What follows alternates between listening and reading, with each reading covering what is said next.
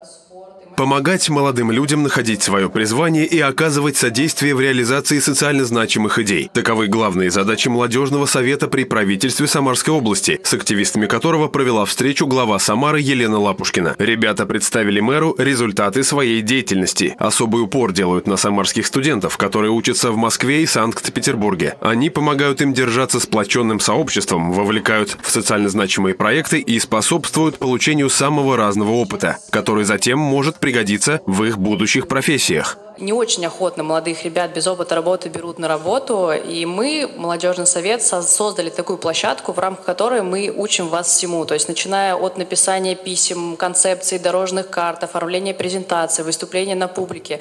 Э, мы занимаемся буквально всем. На встрече с главой города ребята представили свои идеи, которые помогут улучшить качество жизни в Самаре. Среди них в основном проекты, направленные на сферу культуры, а самую активную поддержку получила идея нового стрит-арт-фестиваля, в рамках которого разнообразные авторские муралы появятся не в центральной части города, а на домах, расположенных на окраинах. Это позволит этим районам тоже привлекать туристов, а значит иметь стимул к поддержанию благоустройства и порядка на своих территориях качественный арт-объект, он притягивает туда новые инвестиции.